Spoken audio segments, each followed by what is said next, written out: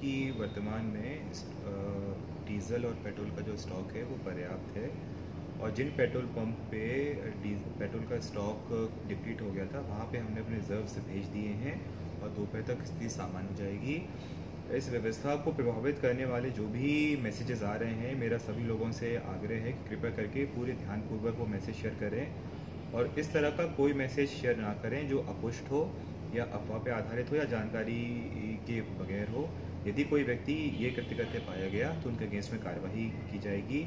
Already C R P C one forty four का आदेश जारी कर दिया है। मैं पुनः रिपीट करूँगा किसी भी तरह के मैसेज जो तथ्यों से भरे हों, अपुष्ट जानकारी पर आधारित हों और अफवाह पर आधारित हों, कृपया करके ऐसे मैसेज सर्कुलेट ना करें।